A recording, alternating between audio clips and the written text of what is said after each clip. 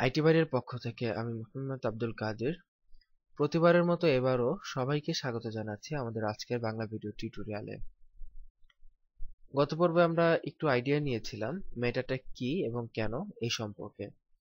আজকের পর্বে আমরা একটি মেটাট্যাগের উদাহরণ দেখব যে আসলে মেটাট্যাগ জিনিসটা কি।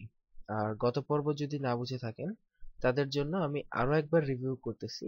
মেটাট্যাগ হচ্ছে এক ধরনের কোড বা এক ধরনের ট্যাগ যেটি একটি ওয়েবসাইটের মধ্যে দেয়া হয়, শুধুমাত্র সার্চ ইঞ্জিনকে বলার জন্য যে এই পেজটা বা এই ওয়েবসাইটটা কি সংক্রান্ত সেই তথ্যটি। ওকে? তো চলুন, আসলে মেটা ট্যাগের কোডটা দেখতে কেমন সেটা আমরা দেখে নেই। স্ক্রিনে আমরা মেটা ট্যাগের যে কোডগুলো আছে সেগুলো দেখতে পাচ্ছি। ওপরের এটা কি? এটা আমরা একটু পরে বলি। এটা মেটা ট্যাগ নয়, কিন্তু এটা ইম্পর্ট্যান্ট আমরা মেটা ট্যাগের যে কোডগুলো আছে, সেটা দেখি। আসলে প্রতিটি ওয়েবসাইট বিভিন্ন কোড দিয়ে তৈরি হয়। প্রতিটা ওয়েবসাইটের পেছনে কিছু কোড থাকে, যে কোডগুলো লেখার ফলে একটি ওয়েবসাইটের আউটপুট আমরা দেখতে পারি। যেমন, আমরা যখন আইটি বাড়ি ভিজিট করি, আমাদের website IT Bari dot com যখন ভিজিট করি, তখন আমাদের ওয়েবসাইটটা আমাদের সামনে এই রকম আসে স্ক্রিনে যেরকম দেখতে পাচ্ছি। কিন্তু এইরকম করার জন্য আমাদের এই ওয়েবসাইটটা তৈরি করার জন্য বেশ কিছু কোড লিখতে হয়েছে। এর মধ্যে একটি ইম্পর্টেন্ট কোড হচ্ছে এইচটিএমএল কোড বা এইচটিএমএল সিএসএস জাভাস্ক্রিপ্ট পিএইচপি ইত্যাদি কোডগুলো সমন্বয়ে একটি ওয়েবসাইট হয়ে থাকে। আর সেই কোডের মধ্যে আমাদের এমন কিছু কোড দিব আমরা, যে কোডগুলো আসলে মেটা ট্যাগ নামে পরিচিত। এই কোডগুলো আমাদের ওয়েবসাইটের মধ্যে প্রতিস্থাপন করতে হবে বা একটি নির্দিষ্ট জায়গায় রেখে দিতে হবে। রেখে দিলেই মূলত মেটা ট্যাগ বসানো হয়ে যাবে। তো এইটা জানার জন্য যে আপনাকে খুব ভালো মানের ওয়েবসাইট ডিজাইনার হতে হবে বা ওয়েবসাইটের কোড এডিটিং জানতে হবে, এমনটা কিন্তু মোটেও নয়। কিন্তু তারপরেও যদি কেউ চান যে এইচটিএমএল সিএসএস শিখবেন সেই ক্ষেত্রে আমাদের আইটি বাড়ির খুব ভালো মানের টিউটোরিয়াল রয়েছে এইচটিএমএল সিএসএস এর উপর। চাইলে সেই টিউটোরিয়ালটি সংগ্রহ করতে পারেন। তবে যাই হোক এই যে যে তিনটা কোড আমরা দেখতেছি মেটা এই তিনটা কোডই হচ্ছে মূলত মেটা ট্যাগ বা মেটা কোড যেটাই হোক না কেন।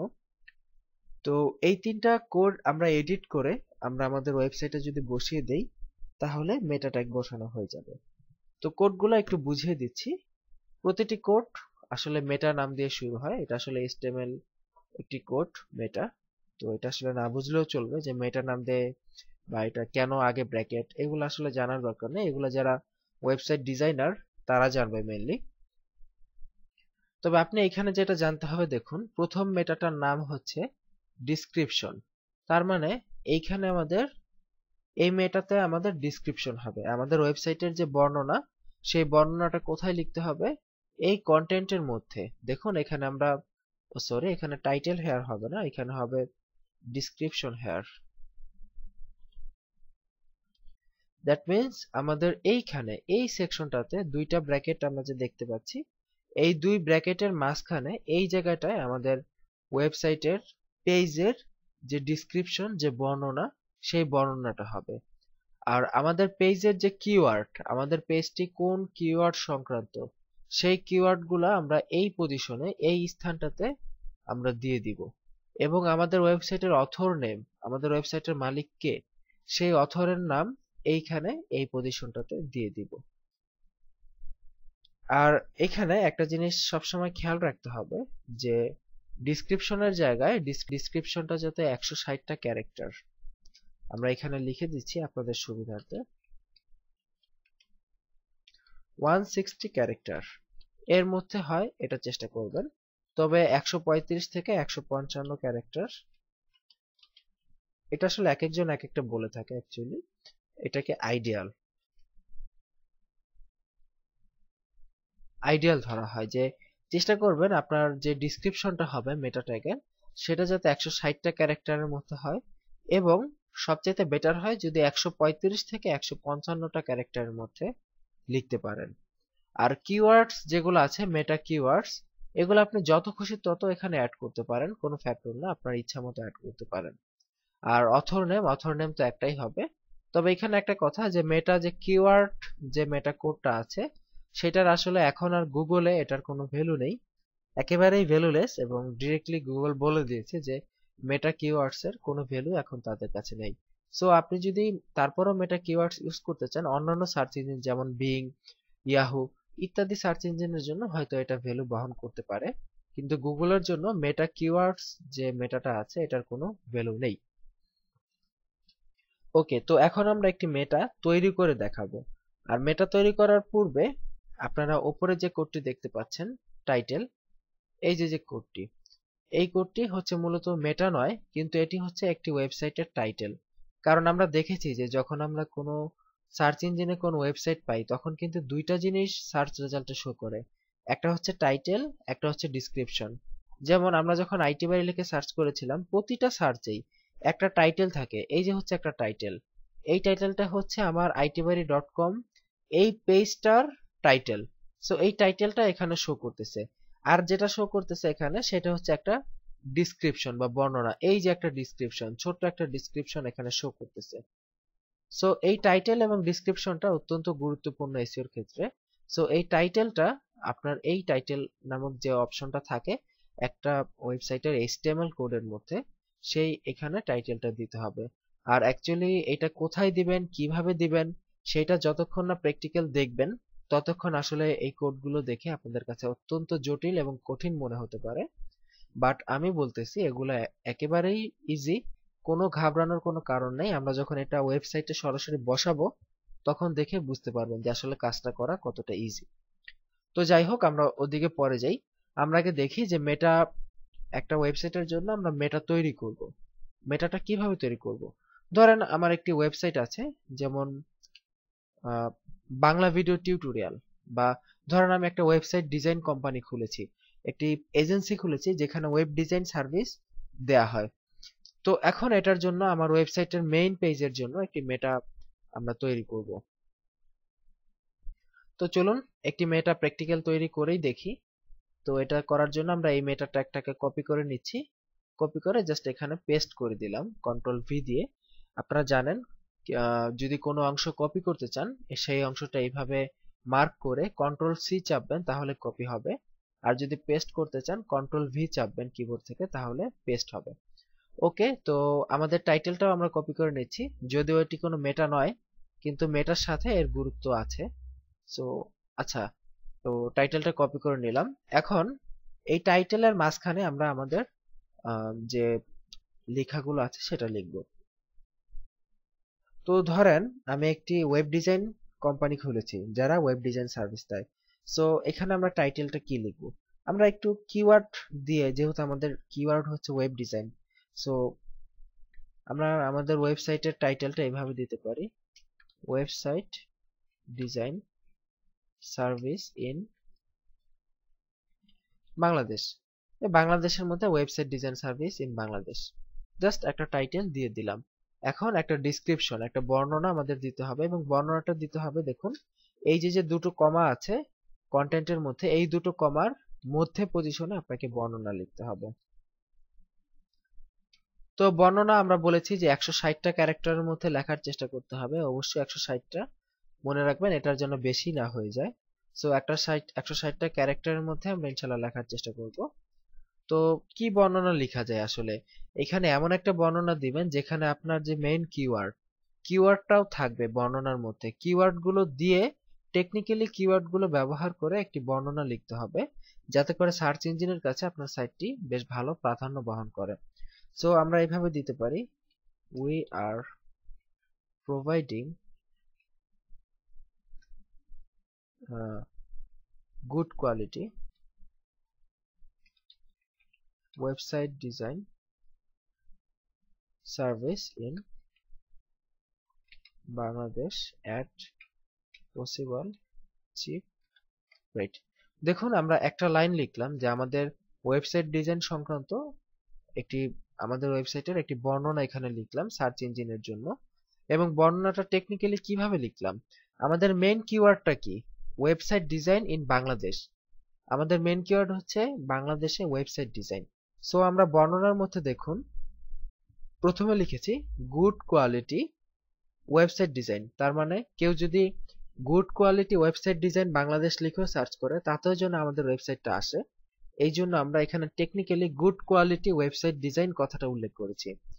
এর পাশাপাশি service in Bangladesh that means বাংলাদেশে ওয়েবসাইট ডিজাইন সার্ভিস এটা উল্লেখ করেছি। এর পাশাপাশি আরও একটি তথ্য উল্লেখ করেছি, cheap rate. Possible cheap rate. যে চিপ রেটে ওয়েবসাইট ডিজাইন কারণ এক একজন গুগলে এক একভাবে সার্চ করে।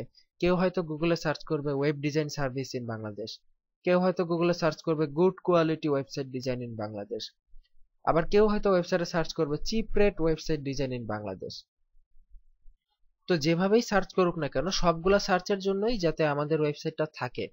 সেইভাবে, সেই কথাগুলো মাথায় রেখে এইভাবে টেকনিক্যালি আমরা আমাদের ওয়েবসাইটের জন্য ডিসক্রিপশনটা রেডি করলাম।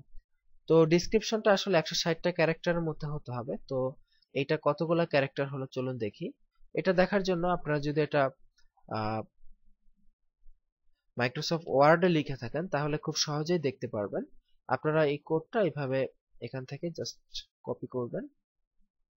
দ্যাট মিনস কপি না মাউস দিয়ে জাস্ট এভাবে ব্লক করবেন।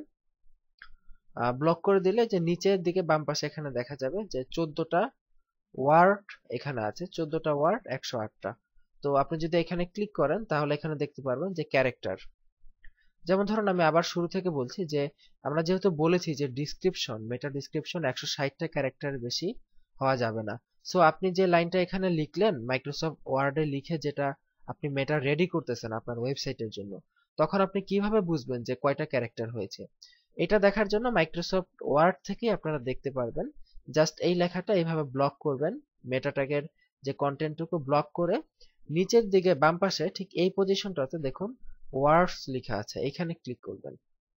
ক্লিক করলে এখানে দেখুন ক্যারেক্টার কতগুলো, নব্বইটা ক্যারেক্টার আমরা এখানে খুব সুন্দরভাবে দেখতে পাবো যে স্পেস সহ টোটাল নব্বইটা ক্যারেক্টার হয়েছে স্পেস সহ কাউন্ট করতে হবে। সো আমরা এটাকে আরেকটু বড় করতে পারি, যেহেতু আমরা বলেছি যে একশো পঁয়ত্রিশটা থেকে একশো পঞ্চান্নটা ক্যারেক্টার হচ্ছে আইডিয়াল বা বেস্ট প্র্যাকটিস তো এর সাথে আরেকটু আমরা যোগ করতে পারি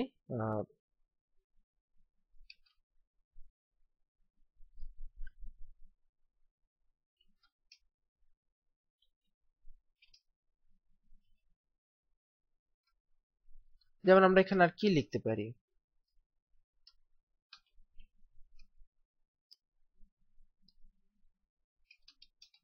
Get services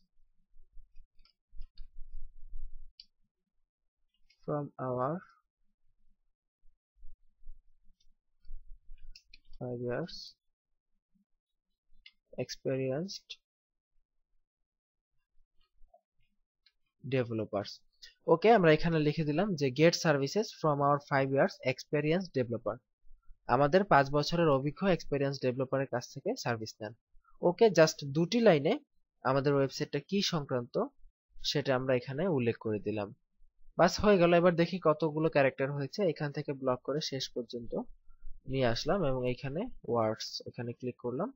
দেখতেছি যে ক্যারেক্টারের সংখ্যা হয়েছে একশো চুয়াল্লিশটা। দ্যাট মিনস আমাদের এটা এখন একটা আইডিয়াল বা বেস্ট একটা মেটা ডিসক্রিপশন হয়েছে। এবং মেটা ডিসক্রিপশনের মধ্যে আমরা আমাদের কিওয়ার্ড যেগুলো আছে সেই কিওয়ার্ডগুলো রেখেছি এবং কিওয়ার্ডগুলো রাখার পাশাপাশি আমাদের ওয়েবসাইটটা কি সংক্রান্ত সেই তথ্যগুলো এখানে তুলে ধরেছি। ওকে, তাহলে কিন্তু দেখুন মেটা ডিসক্রিপশন কিন্তু এখন রেডি এই ডিসক্রিপশনটি এখন আমি চাইলে আমাদের ওয়েবসাইটে ব্যবহার করতে পারি। আর এরপরে আছে টাইটেল তো আমাদের টাইটেলটাও কিন্তু এখানে অলরেডি আমরা রেডি করে দিয়েছি। তো এখন কিন্তু আমাদের মেটা টাইটেল বা আমাদের ওয়েবসাইটের টাইটেল এবং মেটা ডিসক্রিপশন দুটোই রেডি এই দুটোই হচ্ছে মেইন আর বাকি যে দুটো আছে সেই দুটো হচ্ছে অপশনাল আপনি চাইলে দিতেও পারেন মেটা কিওয়ার্ডস এবং অথর আবার নাও দিতে পারেন। তবে আমরা যদি মেটা কিওয়ার্ড দিতে চাই, তাহলে আমাদের ওয়েবসাইট কি কি কিওয়ার্ড আছে? যেমন ওয়েব ডিজাইন একটা কিওয়ার্ড তারপর কমা দিয়ে আমরা আরেকটা কিওয়ার্ড দিলাম ওয়েব ডেভেলপমেন্ট ওকে তারপর এসিও সার্ভিস থাকতে পারে আমাদের ওয়েবসাইটে এসিও সার্ভিস থাকতে পারে। তারপর ধরেন গ্রাফিক্স ডিজাইন। তারপর ধরেন ফটোশপ তারপর ধরেন এরকম বিভিন্ন ধরনের কিওয়ার্ড আমরা এখানে উল্লেখ করতে পারি। তারপর এখানে উল্লেখ করতে পারি cheap web design service in Bangladesh তারপর এখানে আমরা উল্লেখ করতে পারি cheap and good quality web design service in Bangladesh okay, এভাবে আমরা আমাদের ওয়েবসাইটের যে বিভিন্ন কিওয়ার্ডগুলো আছে, কমা দিয়ে দিয়ে এইভাবে আমরা এখানে উল্লেখ করে দিতে পারি। তো কিওয়ার্ডটা আমরা আগেই বলেছি যে এখন আর ততটা একটা গুরুত্ব বহন করে না, বাট আপনারা চাইলে এখনও দিতে পারেন। আর অথর নেমের জায়গায় আপনার ওয়েবসাইটের যিনি মালিক, ওনার নামটা লিখে দিবেন। তো এখানে আমি আমার নিজের নামটি ব্র্যান্ড করে দিচ্ছি আব্দুল কাদের।